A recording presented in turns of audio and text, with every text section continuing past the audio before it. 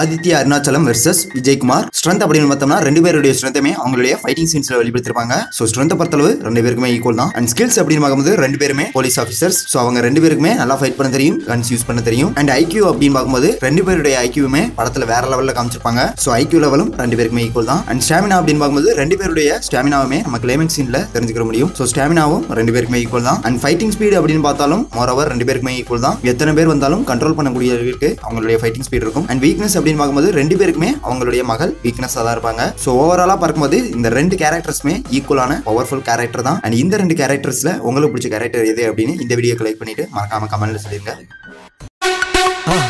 மறக்காம சர்ப்ரைஸ் பண்ணுங்க. தேங்க்யூ